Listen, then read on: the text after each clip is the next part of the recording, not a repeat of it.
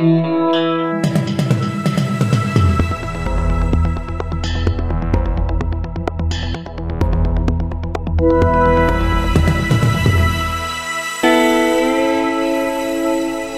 back to Betoota Talks with myself, Clancy Overall, editor of the Betoota Advocate, and Errol Parker, editor at large. And uh, a lot going on in the news cycle.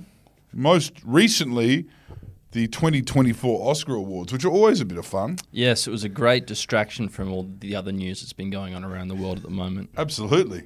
That's what Hollywood exists for, right? Like a little bit of razzle dazzle Nothing like a bit in of this razzle dazzle. sea of glumness. Yeah.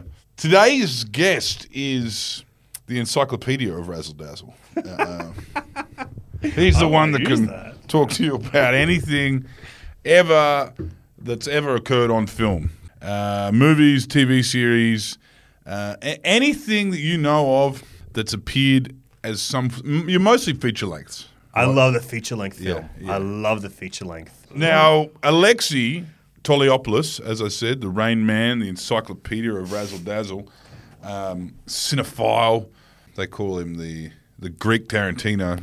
He has a new podcast, uh, which is broadcast out of this town. It's called The Last Video Store. Last Video Store Betoota, Last Video Store Betoota, Queensland. We're obviously the town that hosts the Last Video Store.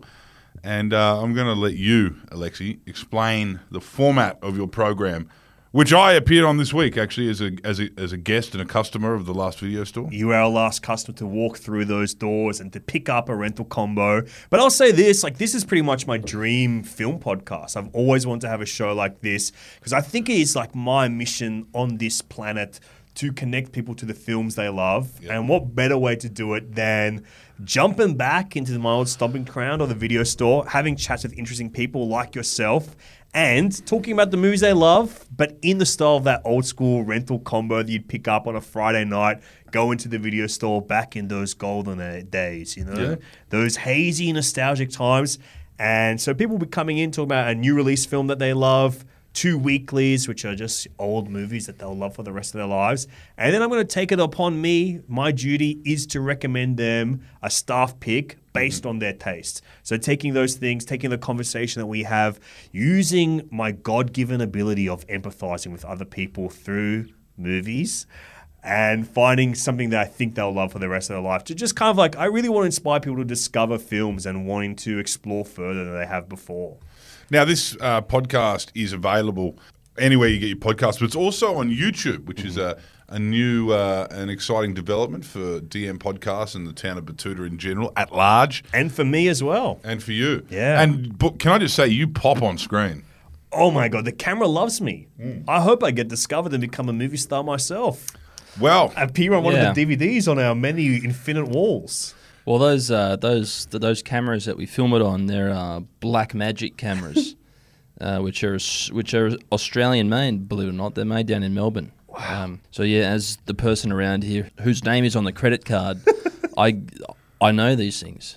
Wow, you went all out those black magics. You know, we are construing things beyond mysticism in there. Alexi, you a- as a as a previous guest in Betoota's last video store, uh, as, as the most recent guest, you gave me a staff pick which I have not been able to locate. I won't say what it is, but this that should go to show the listeners just uh, how vast your knowledge is. That you have suggested a film which seems to triangulate my three films that I'd mentioned. Yeah, and they were disparate. Your choices were all over the place. Yeah, they were all over the place. you Uh, sent me a huge challenge, man. Yeah, I know. and you gave me a film that looks, from what I can read, to you know tickle all three of those films, but it is just not available in Australia. I'm going to have to re, you know resort to piracy or something like that to watch it. Yeah, watch or it. you can come into the last video store, rent it out from here. yeah, man. yeah. Well, yeah, I should. In I the should. fantasy Ex- realm, that except, is. except my uh, my late fees are very very close to one thousand dollars, and um, the last guy that owned that store before you and me had an arrangement. So. Um, well, I'm sure we can cook something up. Let's cook something up. Now, but that that is that, that should show the listeners just how vast this is. That he can name a, I'm going to say a Nordic Nordic film uh, made 20 years ago uh, that's not available in Australia. This man has seen it because he's seen everything and he knows everything. How did you see it? How do you? How would you have seen a Nordic film that you can't get in this country from 20 years ago? Well, I'll say this: I have my ways. I have my ways because I'm like very looped into importing films, Yeah. like through legal means and some more nefarious means. But the thing that I care about most is like being able to find things, and it's kind of been my mission for most of my life is to build up, as you put it, like an encyclopedic knowledge of films. And I have like a veracity, a hunger that is unending for discovery, for finding films out there in the world, and. Uh, this film I'd heard about for a long time. In particular, it's from a well-known Nordic filmmaker Yeah. that's made the cross to Hollywood and made some big cult films, Yeah. and is making some weird and interesting stuff. And it was just like the film of his that I had not seen. I'd seen a lot of like his uh, Danish films as well, Yeah. and, but this was the one that had been a bit harder to find. So it's been on my list personally for a long time. And then when I kind of was getting the vibe of what you were picking, it became time for me to seek this film out. I knew that it had to be the one because it just made so much sense because, you know, you picked a slacker comedy, Yeah. you picked a heinous, dirty crime film, and then a really, a film that had like a really lovely, detailed sense of space. Yeah. And I thought this film in particular would lean into that. And so far, I think all the guests on the podcast, I've had a pretty good track record of like Yeah. finding them like oddities or things that they've not heard of or things that they've yet to watch, but really lands into their taste. And I Yeah. think that's something that I like have always had a lot of pride in and something I've really wanted to like capture again is just like being able to connect people to movies. Yeah. You know, he says things, this man will say things like, Oh yeah, that's a great film. I've got it on Blu-ray. I'll bring it Mm. in for you. I'm like, Alexi, I don't know. Like, unless someone's rocking a PS5 or something at home. I mean, PS5 probably doesn't even play Blu- Blu-ray anymore. It does. It does? And if, Yeah. if it's got a disc tray, it'll play it. PS4 does too. Yeah. So I'm, uh, I, but I'm at that point where I might just like keep a like keep that thing on me, keep a Blu-ray player. Oh, you got on it. my back. and just going here. Let me give you the disc and the means to play as well. Keep that thing on me. Keeping a multi-region Blu-ray player in my backpack at all times. Yeah. So, um, have you got like a, a movie watching routine? I mean, Mm. it is essentially your job now, so I guess you can you can find time that you can carve out to consume these things. I mean, Yeah. I just, I mean, I I would like to watch more flicks, but I, I just cannot find the time. I think it's like for me because it is the thing that I love most. I've always been able to find that time, and I probably try to watch a movie every day.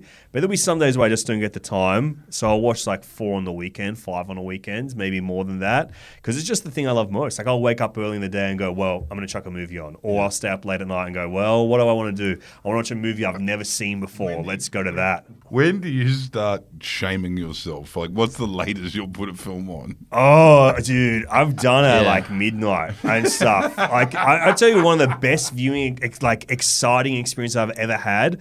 There is this movie uh, called Set It Off, which is an F. Gary Gray heist film starring Vivica Fox, Queen Latifah, Jada Pinkett Smith, actors I really, really love. And it had been kind of weirdly hard to see for most of my life. Like, it, I could have seen on DVD, but I missed my chance. And then one This is night. like almost Tupac Jadis Pinkett Smith era. Yeah, just after, like yeah. uh, 1990, mid 90s. And um, like in that primo, like heist film era, Yeah. like just before Ocean's 11, Yeah. but just after Heat, Yeah. where people are just like, oh, heist movies, you can do interesting things there. And I had always wanted to see it. I'd been aware of it because I kind of like that era of film. I really love like that era, especially of like African American cinema. So I've always loved F. Gary Gray. Weirdly, he's Mm-hmm. Yeah. just been a director I've loved for my whole life. Mm. Impossible to find for ages.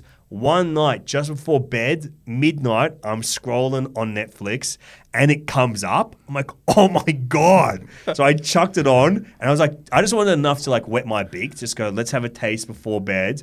Could not stop. I watched the whole thing. It's like two hours long. Like it's a long movie. It's not short. And I just like zoned in and watched it. And then I could not fall asleep because I stayed up reading about the film for the next like hour. So I didn't get to bed till maybe 4 a.m. because I just wanted to like just luxuriate in this movie. So that's a shame, but it was also like true unctuous pleasure for me watching a film, discovering it. And I'll probably say this as well. Like when it's a thing that you love, you find the balance shifts to it. Like I don't watch like any TV shows almost. I watch maybe five shows a year, and a lot of those are the shows that I watch every year, like Drag Race or like Top Chef or whatever. And those are the films I can actually zone out to and just Yeah. enjoy. Doesn't feel like a scholarly pursuit to me. Like you know, I didn't even watch you guys' TV show until like. Until I was like, well, I think I have to. Till you I moved think to I finally Betoota, have to. Until yeah. I moved to Betoota, Well, I was you like. I got to fit in, and I love it as well. No, not everyone's got Paramount. I'll tell you what. On Boxing Day in 2001, I actually uh, I went to the midnight screening of first Lord of the Rings movie. oh wow! I um, dressed up as a hobbit. And, uh, Did you really? what do you? What? Okay, I'm imagining you got the cloak. You've got a little vest on of some kind. I yeah. what no, about the feet? What are you packing on the feet?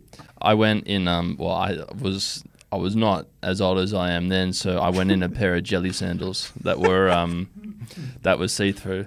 Wow! Did you pop like a little merkin on top? Give those little hairy hobbit feet. That's a bookish young man right there. yeah, I love that. no, it's uh, yeah, no, it was good. It was uh, very past my bedtime. I, I I think we got home at about you know a quarter to six in the morning.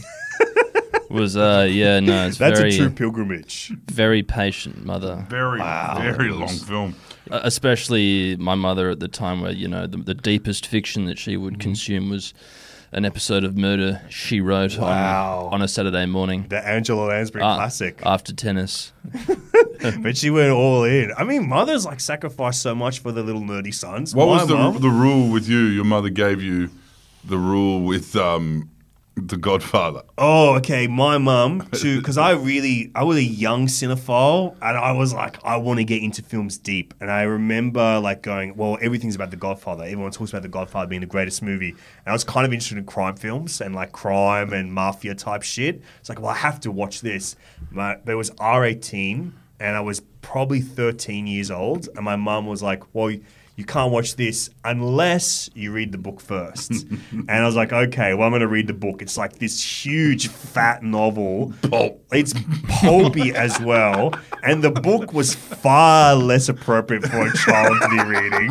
And I remember like having the book, and it's like page 17, you see Sonny Corleone in vigorous detail boning out one of the. uh, Bridesmaids. the bridesmaids at the wedding. Which is a one second scene in, in Yeah. the film. But One in this second it's cutaway. like she he jerks into her in Yeah. pure ecstasy. I, let me tell you, the words elongated pole pulsing are used in that passage.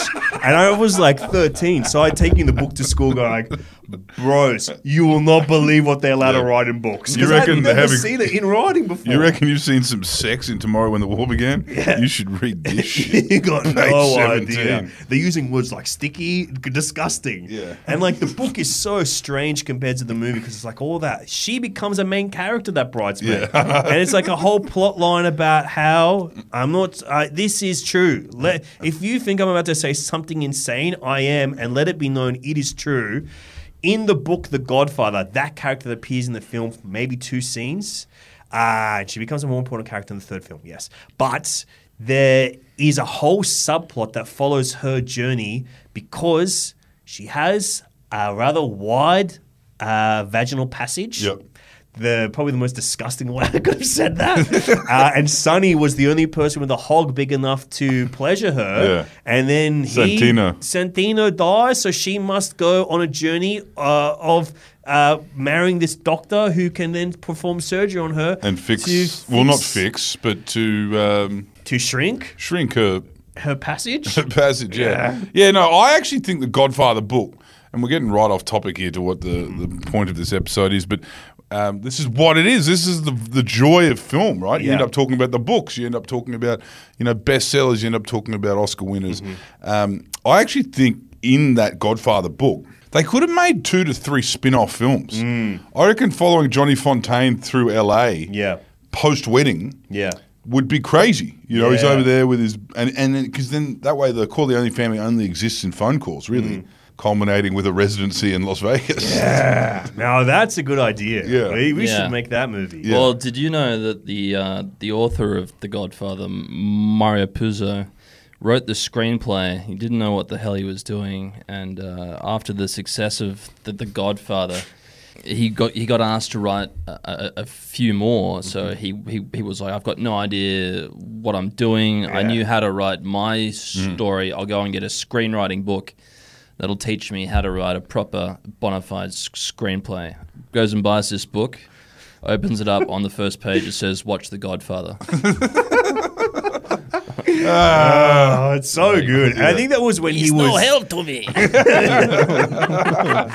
think that was also when he was like writing the screenplay for Superman, like the '70s one. Yeah. It's Yeah. like, man, it's it's so wild. So much cocaine uh, involved in some of those old blokes. I oh reckon. yeah. I mean, flown too close to the sun. Yeah, that was lesson two in the book. Said, Yeah. watch The Godfather, and yeah, and snort a little something interesting. yeah. Well, even Scorsese, I know he wasn't involved in The Godfathers, but he admits to abusing cocaine. Goodfellas might have been when when it's appearing on screen Yeah. like that. It's like Scorsese's obviously doing something similar behind. Scorsese's cokiest film, I reckon, is The Last Waltz.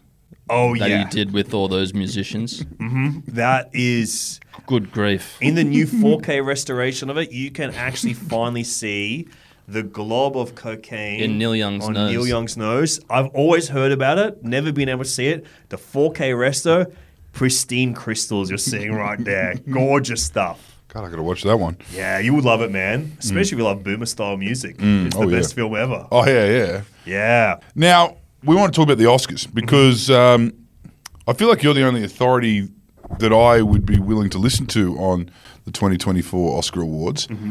Who do you think were the winners and who were the losers? In the sense that who deserved to win and who won, and who deserved to win and who lost. Well, I think this was a really good year. I'll Mm. say that. Like in 2023, the year that was celebrated the 96 Academy Awards, I think was genuinely a fantastic year for film, especially like, you know, that post COVID world. Like the movies are actually happening. They were coming out, they were being released, but they had been made as well. Like 2019, I thought was a historically great year. 2023, not too far behind it. Um, and I think the Oscars through their nominations, genuinely recognize that. Yeah. So I think the big winner is audiences and cinema. And I'm going to say that completely sincerely and genuinely. The audiences were the winners this mm-hmm. year. And I thought the actual ceremony was fantastic. Like it was really fun. Obviously, the big winner was Oppenheimer, winning Best Picture and I think six other awards in most of the major categories.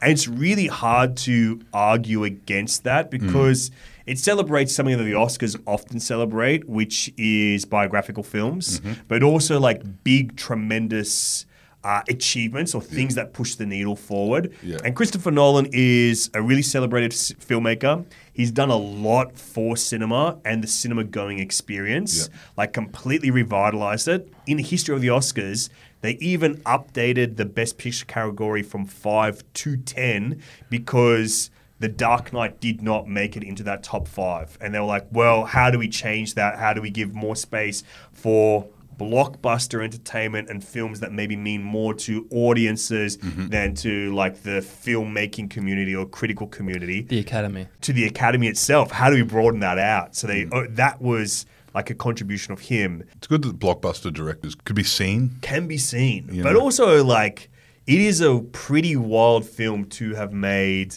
nearly a billion dollars worldwide. Hmm. Like for it to be. What's this one? Oppenheimer. Oppenheimer Yeah, yeah, for it to Yeah. be a biographical film about a billion American dollars. Yeah. a billion USD, brother. Yeah. A billion USD. Greenback. a million dead presidents lined up, man. That's it. A million dead presidents put into Oppenheimer. It's all about the Benjamins, It's baby. It's all about those Benjis, brother.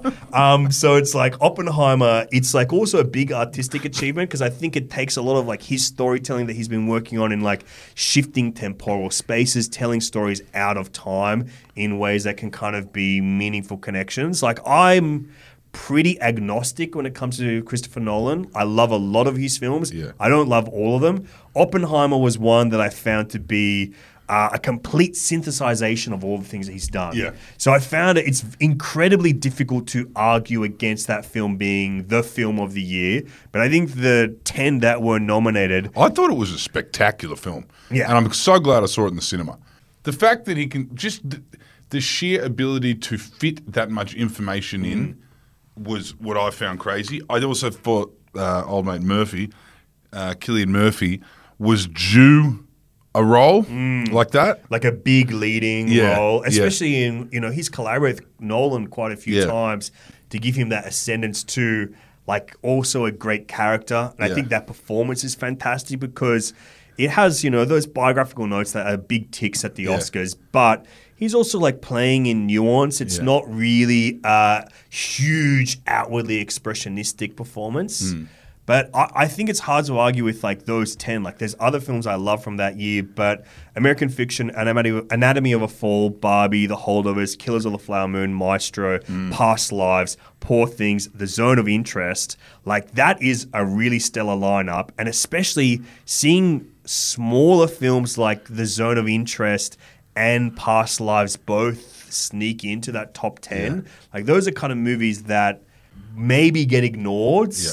but when they expand it to a 10 and there's room, great year. These films had buzz. They were to build their way into it. I found that, I think that's really exciting and things that should Mm. be uh, really celebrated. And I'd even say, as far as that goes, Anatomy of a Fall, uh, Justine Triet, that is such an exciting nomination that she gets into Best Picture and Best Director nominations So, as well. so someone like her, she, She now won though for best adapted screenplay, wasn't yeah, it? oh, Uh, Best Original Screenplay. Best Original Best Screenplay. Original Screenplay, Yeah. yeah. So she she gets to win, and, and, and rightly so, and deservedly. Mm. But we look at these Hollywood, I guess the blockbusters, right? I'm talking about the blockbusters here. They haven't changed for 20 years. Mm. These guys can work forever. And we look at the Scorseses and the Nolans and the Camerons and the Ridley Scotts. Mm. They, they haven't, like, as in the top brass hasn't changed for 20 Mm. years. Has anyone joined the ranks? Well, I think definitely this year we saw like true ascendance, Greta Gerwig, Yep. and with Barbie, and that's such a phenomenal success. Yeah. Like it's it's like if you're paying attention, you would know that's going to be a big hit. But a lot of people were doubting it. I think that's insane to have doubted like Yeah. what a colossal hit that was going to be. And I think with that film, like you see the true ascendance of someone go through the ranks of like indie darling. Like Yeah. I've been a ground zero Greta Gerwig fan. I was watching her mumblecore films as an actor when I was like in high school. Yeah. And then to see her go from that to then making bigger indies like Lady Bird and then a kind of mid-range studio film with Little Women, which I would say is one of the best films of like the last 10 years Mm-hmm. Yep. and one of the greatest like adaptations ever. To then see her go on to make such a big studio picture that Yeah. changed the game. And I would say it was the reason why I think the two biggest movies of the year, you know, apart from Mario, uh, are Oppenheimer and Barbie, and why they saw so much Oscar nomination love is they kind of show this change in what people are seeking out. If you look at the last 10 years, the top films at the box office have always been like those Marvel superhero films, like stuff that takes the same shape every year. And I think what we saw the shift being this year with superhero films not doing so well, then these two rather unique films doing really, really well and overachieving all kind of expectations is what I think it is. You see, the audiences want something that is familiar to them, something that they kind of know at least a little bit of what it's going to be. Like people know Barbie, people Yeah. know like a big biographical World War II type film. Yeah. But what they want is for those to feel fresh, be different, visually exciting, to feel like there's a craft around them as well. And I think that's kind of what it is that refreshed it and what people wa- were so like you know the year in film was dominated by these two movies the conversations i think it was like that hunger was finally being served like things that are familiar but completely new and completely fresh You know, I talk about those big hitters and the Mm. top brass. These guys can just churn. I mean, Killers of the Flower Moon was an amazing story. It was way too long. We know that the um, the rise of streaming has given these old perfectionists like free reign and a Mm. bit too much reign to go as long as they want. Uh, Irishman was a good example of that. Look, it's a love letter to mafia films, which I don't think could Mm. really get made like they used to anymore. But um, Killers of the Flower Moon was an amazing story, and it was a completely different terrain. It was just so fucking long and, and a bit indulgent. The actors were great, yada yada yada. It was interesting watching Leo play a dumbass. But I, I do think some of these old heads, Ridley Scott, Napoleon, Scorsese, uh, you know, with the Killers of the Flower Moon, they can just churn them out now. And it was very interesting to see Christopher Nolan, kind of, despite being similar age to these old blokes and having had the same advantages in his career that you know that, that meant that someone like Greta couldn't exist 20 years ago. Mm. So to actually see him, yeah, see Nolan take his final form. Yeah, I think that's I think that's a really interesting point because he's someone that kind of like evolves the craft like Yeah. every film as well. Yeah, yeah, yeah. Um, and I do think that's an. Uh, it's interesting to say because he's probably mid career now, really. How so old who he be? He's um, I reckon he's got a lot more films in him. He is. 1970, 53 years old. So kind of mid Yeah, mid right. career. So he's, he, he'd be one of the new additions to that. Yeah, You know, but he, he's someone as well that will put in that master of cinema category. Yeah. Like he has free reign, and especially after getting a, almost a billion dollars with this film, like what he'll be able to do next is something unheard of. Billion dead slave masters. now, um, What, George Washington. Those Come. Washingtons, dude. um, tell me, actors. Actors. Well, Cillian Murphy won Best Actor. We've talked about that. Like that's was not really a surprise. There was maybe some thought like maybe Paul Giamatti could sneak in because Yeah. I felt that performance. I haven't watched that yet. You would love that movie, I reckon. Like Holdover. it's so warm, quite funny, Yeah. and it has like this. It feels like it is captured from the seventies. Like it just feels like an unearthed treasure that everybody forgot about. Yeah. love that movie. He's Best- owed one too, I think. I Paul. think so. Yeah. He's only been nominated for uh, Cinderella Man before this, Yeah. supporting actor. I reckon they'll give one to him next year if he does a good role. I reckon. I This, hope this is a Christmas film, though, isn't it? Christmas film. They should have waited. Yeah. They should have waited. And I actually think uh, Ridley Well, Scott should came have out waited. in America around uh, Christmas time, but then right. it like Australia came out just a little bit later because Yeah, they yeah. wanted to get in the awards hype, which makes sense. But it's such a warm Christmas movie. We're just like, ah, it'll you'll watch it every year for the rest of your life, Yeah. basically. Um, Best Actress, that was quite a race, very Yeah. exciting. Uh, Emma Stone with Poor Things and Lily Gladstone for Killers of the Flower Moon Yeah. Two really incredible performances from two kind of different models and schools of acting. Like Lily Gladstone's smaller, somber, nuanced performance. And I think just spectacular masterclass of that kind of acting. Yep. And like so much of the stuff that like you could miss it if Yeah. you're not paying attention or if you're not kind of understanding like what the craft of acting is, you could dismiss it. Yeah. But it's an undismissible performance for me. And Emma Stone, Poor Things. Obviously, I'm Greek. I've loved Yorgos Lanthimos forever. And it was a film that I was not anticipating from him to basically him make a Frankenstein, Yeah. uh, freaking Edward Scissorhands. And I love Emma Stone. And it's such a big swing. Like, that is a wild performance, as are all the performances in Poor Things. Those are probably my two favorite performances Mm-hmm. of the year, regardless. Like those were the two. So it could have gone either way. Emma Stone, second time winner with this one. That's exciting for a young actor to get to at a young point in their career to see like what is even possible next. But Lily Gladstone, that's who I was going for. Like that is, you know, a new star, someone who can Yeah. do so many interesting things. And it would have been like a historic win, the first Native American, Indigenous American person to win acting award, like a Best Actress award. That would have been, you know, what a great moment, what a great celebration. So it's a shame, but it's hard to argue because the performances were all so good. It was quite a stacked category. And then supporting actor, you got Robert Downey Jr., like a career award, basically, going for him playing uh, Strauss in Oppenheimer. And that's a fun performance. There's so many great moments with that character where you see his chops on display, which is something that we probably have missed Yeah. for the last decade or so of his career. And tough category as well. Ryan Gosling and Barbie. That's like, come on, that's an all Yeah. classic performance now. Mark Ruffalo in Poor Things, another huge swing. You could see that movie on the wrong day and go like, what is that performance? But it works in cohesion. And De Niro in Killers of the Flower Moon is just, you know, one of his best performances in the last 30 years of his career. And Sterling K. Brown from American Fiction, that's a really fun performance as well. Great performance.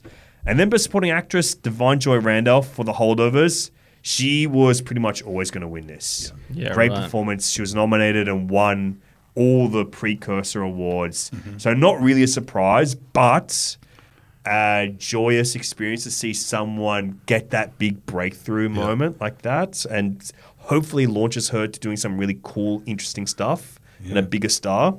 I mean, it's all happening, isn't it? This this new Indian blockbuster just come out. What's that one called? I believe it's called Monkey Man, and I think that comes out rather soon here in Australia and around the world. Um, Dev Patel, one of my favorite actors ever. If you're around our age, you saw Misfits on TV. Yeah. And I always loved that performance from him as Anwar in Misfits. To see him ascend to being one of the great leading men, Yeah. it's like, how could you predict that shit? You can't. And it just Yeah. feels so natural and, such a great career. He's playing. He's playing the lead in all of the mainstream. I would say mainstream in terms of broken out of India, Hmm. Indian films, which is an incredible feat. Considering the diaspora all up, there would be two billion Indian Hmm. people in the world, and you know we've seen him in Slumdog Millionaire, Yep. and I look forward to seeing him in this. Yeah. and he also played uh, Nicole Kidman's son in Yeah. uh, in Lion. Lion, Which yeah. I think another Yeah. Best Picture nominee, great film. Did a great Aussie I, accent. oh, I think he's such a superb actor. Saroo Brierley is the name of that character. Yeah, yeah. Um, and uh, I love that film. I love Dev Patel. I cannot wait to see this debut because it's like an action Mm. film in that kind of John Wick high Yeah. octane, heavy stunt work. taking on. Hindu nationalists. Yeah, and taking like the modern politics of India and like doing doing that. And I think that's the best way to communicate things in film is using genre and stuff to communicate like a deeper message. Yeah. Because audiences understand genre films, so it's how you can kind of speak to them in a language that they really fluently understand. Yeah, which I think I think Killers of the Flower Moon aimed to do and didn't really. I just don't know if the parallels in Mm. American history were done because it was still kind of done like a gangster film. I mean, I, uh, but I think that's it. Like Yeah. for me, then this is something that they've spoken about. Instead of the film being a who done it, Yeah. it is a who didn't do it. Like yeah. everyone is involved. yeah, that's that's that's an interesting. And I think for me, it's like I really liked Kills of Flower Moon, but like Scorsese is someone that I have connected with their work for most of my life. Yeah. Like he's so core to my love of Yeah. film. So it's like uh, it'll be very hard for me not to love a film by him. Yeah. But I found this to be really mature, like, and a lot of late period films can like from period directors and like their twilight years, if you Yeah. will, late period films, like they can kind of lose a bit of that currency or that urgency. Yeah. This one I think shows like how vital he still is Yeah. in especially the sense of like reconstructing the story like how do we tell this story how do we retell history how do we do that and the ending of that film i think truly is maybe the greatest artistic statement of his career Yeah. Of him as an artist Yeah. like the way that he's able to basically state his purpose of this film Yeah. his purpose as a filmmaker as an artist In the radio this film funnies. in this yeah that this ending that is so metatextual Yeah. and interesting where he comes out and presents Yeah. what has happened Yeah. it's um like honestly my hair stood on end because Yeah. i think it's such a bold artistic statement and shows the vitality of his work and the necessity of his work and I've got, don't I've got to watch it again. Mm. One recommendation I would make to those who haven't watched it is do not watch it in a heritage Victorian, like Melbourne cinema, uh, on a wooden seat for three and a half hours. That- Mm. yeah that, was okay. tough. yeah that's tough that's tough Now, you've come here and you've brought a little bit of the last video store with you. Mm-hmm. I've asked you to come along with your pick of, you know, from reading the Betoota Advocate, yeah engaging, meeting us, meeting the editors, Yes, meeting the writing guys. staff. I'm feeling, I'm putting my empathy out there. Yeah. I'm bringing in stuff from who I know you are and finding it. and and and also you know uh, getting to know our audiences Mm-hmm. uh, and our and our readers. What is the film you recommend them today? Well, I definitely want to find something Australian. Yeah. Uh, that's something that I definitely want to recommend. Like that's a, a s- part of my mission is to help people fall in love with Australian films. And uh, there's this film that I think is like a truly underseen classic. That once again was one of those films that was hard to find for a long time. Yeah. But now it's had this lovely restoration in the last few years. It is available like everywhere Netflix, Broly for free, like on so many different ways to access this film. I think it's even on SBS On Demand. It's a film from a filmmaker called Shirley Barrett called Love Serenade. Have you Right. seen Love Serenade, no, either of you? no.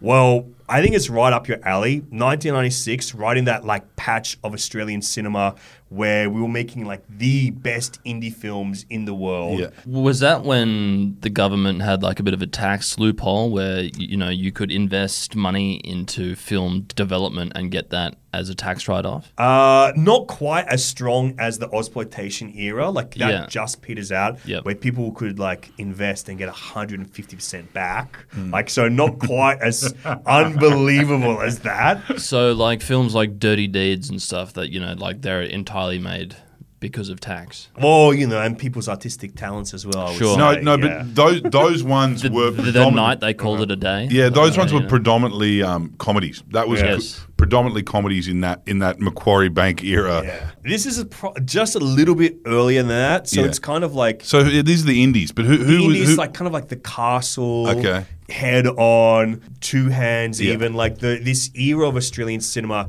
that was really vibrant Yeah. and like r- like capturing some kind of zeitgeist, and it's kind of stuff that you would see probably like i that blending of tones of like comedy but with like a dramatic edge to it or something Yep. that you would see in like American indies like Juno probably Yeah. like 10 years later. Yep. But Love Serenade is like this really nice, intimate film. It's set in like this small rural town out in Australia, like near the outback. Uh, and it stars Miranda Otto as a younger sister who lives with her older sister, played by Rebecca Frith. And they have like this small kind of lives together. She's kind of stuck in this arrested development Oh, yeah. state in her early 20s. I have seen this. You have seen it? Yeah, yeah. And it's like got a great tone of comedy. Like it's Hmm. kind of. They work at a Chinese restaurant or something. She they? works at a Chinese yeah, restaurant. yeah, She's yeah, got yeah. this little bit of this whimsy. And it's got, Yeah. you know, when we say work at a Chinese restaurant, it is a small outback town Australian Chinese restaurant Yeah. that has like one customer a night. Yeah. And this new guy moves into the town. He is this hip Brisbane DJ who's been run out of Brisbane who comes to take over the radio station, this Right. small radio station. He's basically the only thing that gets played on there. Yeah. And these two sisters basically start a love triangle obsession with this man. this spiv. This, yeah, this kind of like old boomer Gen Xy, like, you know, music fan, plays a lot of like, you know, soul classics on the radio and stuff. And um, it's got this great sense of humor. Like, it's got a bit of a surrealist touch to well, a little bit of a magical realism. But um, I just think it's like an unsung classic, like Yeah. truly unsung classic. Shirley Barrett only made three movies, and this was her first film. And I, I think it's like one of the great unsung Okay, like, well, Australian classics You out there. triangulated us. Oh, There are yeah. like there were those those ones from that era. I mean, like you've ob- obviously got Bad Boy Bubby, Mm. Yeah. and then you've got those ones that um was that one that Nicole Kidman was in with that bloke from fucking Almost Famous, Was it- uh, Noah Taylor. No, Noah Taylor, yeah. Ah, flirting. Those ones, Flirting, yeah. the sequel to the uh, the year my voice broke. Yeah. yeah. But it's like that era, like even stuff like Priscilla, The Adventure of Priscilla, Queen of the Desert, like And there was a- Malcolm. oh, Yeah. I love Malcolm. Nadia Tass, The Big Yeah. Steal, also in that era, another Nadia Tass film. Yeah.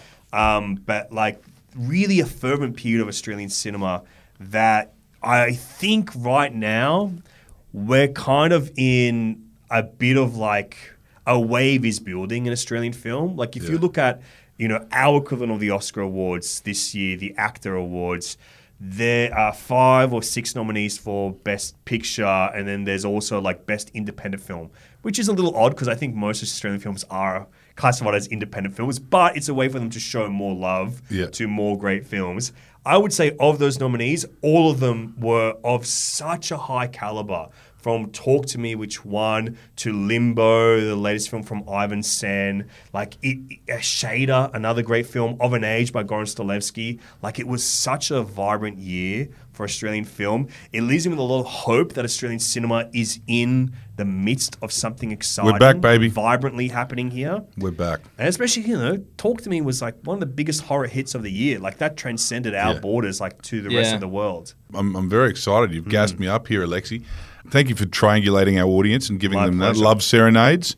And um, for any of you who have uh, sunk your teeth into this cosmopolitan uh, young man's, uh, as I said, encyclopedic mind and, and want to dig in more, uh, you can find him at the last video store.